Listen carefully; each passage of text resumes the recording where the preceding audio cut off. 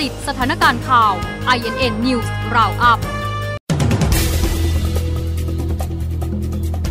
19นาฬิกา2นาที คนทยอยเดินทางออกต่างจังหวัดถนนมิตรภาพรถมากส่วนสนามบินคุมเข้มโควิด ขณะหมอชิดคือคักยอดจองวันที่ 30 ธันวาคม คนแน่นแล้ว 19นาฬิกา14 นาที โคราชเตือนสถานบริการน้ำมันเข้มรักษามาตรการ รับการเดินทางช่วงปีใหม่ ย้ำพร้อมรับมือกับสถานการณ์การแพร่ระบาดของโอไมครอน 19นาฬิกา26 นาที ผู้ว่าขอนแก่นสั่งเข้มปีใหม่ไม่ใช่พื้นที่ 7 อำเภอบุรุโซน ทุกกิจกรรมต้องขออนุญาต และต้องเข้ารับการตรวจประเมินอย่างเข้มงวด ล่าสุด 19นาฬิกา39 นาที มาโนโพกิ้งหัวหน้าผู้ฝึกสอนฟุตบอลชายทีมชาติไทยยืนยันทัพช้างศึกจะไม่ประมาทอินโดนีเซียแม้สถิติข่มก่อนเจอในศึกชิงแชมป์อาเซียน